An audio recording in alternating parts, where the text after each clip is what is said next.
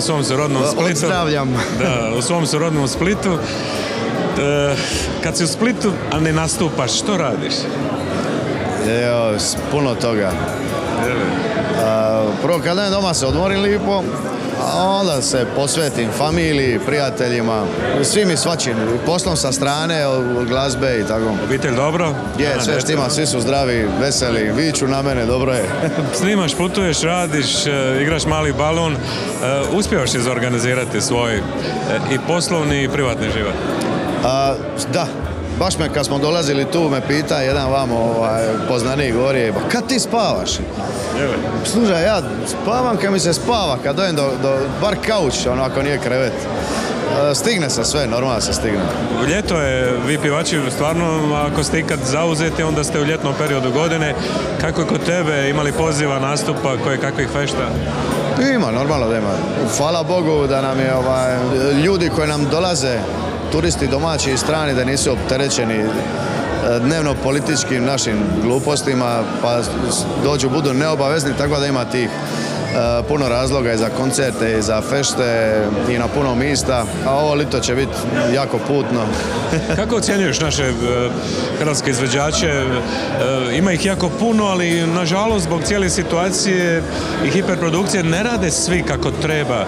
Odnosno nemaju dosta nastupa, imaju problema u životu. E, Pa ne znam sad ali imaju problema, ali ja to gledam ovako, imaš izvođača koji su izvođači koncertni, znači dobro funkcioniraju live, nema ih puno u medijima, e, ali ljudi ih vole, vole doći na koncerte. Sve onda imaš izvođača, non stop su po medijima, ne sviraju puno, njima je bitno da su, da su im slike non stop u Novi novinama. se dojam da su vrlo aktivni onda. Da, da su jako popularni, vrlo aktivni, ali zapravo nisu.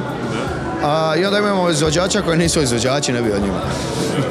Dobro, viđali smo te na televiziji u ovom i onom slučaju i u glazbenom a i onom u emisiji koja je donijela daha na jedan način a, a, promjena glumili ste druge osobe. Što je s, tom, s tim? Nastavljaš u tome? Hoćemo li te vidjeti u nekakvom kulinarskom dvoboju ili slično? To je sad Ma, moderno. zva- zvali su me e, kuvat, ali ja to ne bi... Kako Ne kuhaš? bi se, ja dobro kuvam, ali se isto ne bi sad, to mi je malo previše. Znaš da je neka emisija što ima veze sa glazbom, vrlo rado, da. Ajde, da. Pogotovo ako je vesela i zabavna, da ljudi od gušta to gledaju, kao što je bila ova tvoje lice, zvuči poznato. To ću od gušta doći i ja sam tip koji se voli dobro zezati, što su ljudi vidjeli jedan dio mene koji nisu imali pojma da postoji, ali to sada ja idem kuvat, dizat kuće, gradit nešto, ja nisam taj i onda ne idem u te emisije. Dobro, za kraj, more, malo slobodno vrijeme, e, riba, kupanje, to je također dio tvog života. To je jako bitan dio mog života, jer bo ne možeš prazni baterije ako ih ne napuniš. A ja svoje baterije punim uz more, to mi je najdraže. Sve ove aktivnosti koje idu uz more, znači od gradela, ekipe, familije, e, dobre čaše vina, najbolji punjač. Želimo te radno ljeto, vidimo te na otocima u Dalmatinskoj Zagori, je li? Spremaš li možda nekakve nove pjesme za kraj? Jesam, imam e, veliki problem. E, Slatki problem ili? Pa u principu to je problem. Sad ne znam, nekom je sladak, nekom nije, meni je problem.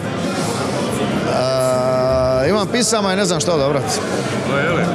Eto, to mi je sad. Savjetnika, danas je popularno ima savjetnika za ovo i ono. Nemam savjetnike, ali imam prijatelje kojima sam da da to slušaju. Kraj svake pisme određen broj bodova i onda naš pričekat ću još mjesec, dva dana, pa ću onda odlučiti. Hvala ti lijepo, želimo te, e, puno uspjeha u tvom glazbenom radu i ne zaboravi na sunce i more. Nikako. Hvala puno tebi i pozdrav svim gledateljima.